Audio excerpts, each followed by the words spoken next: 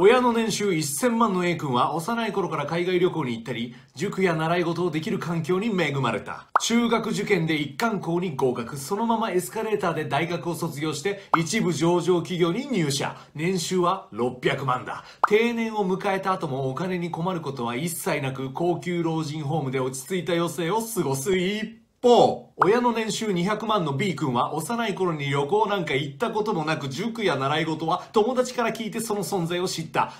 塾？学生時代は金がないからバイトに明け暮れるも、大学の入学金と授業料は払えねえ。払ったら生活が成り立たなくなる。だって親の年収200万だもの。だから大学は諦めなくちゃいけなかった。ちきしゃふざけんな。そんな気持ちを抱えたまま入社したのは参考体制の工場。非正規で働いて年収は225万。あ、225万。結婚できる経済力もなく一生独身。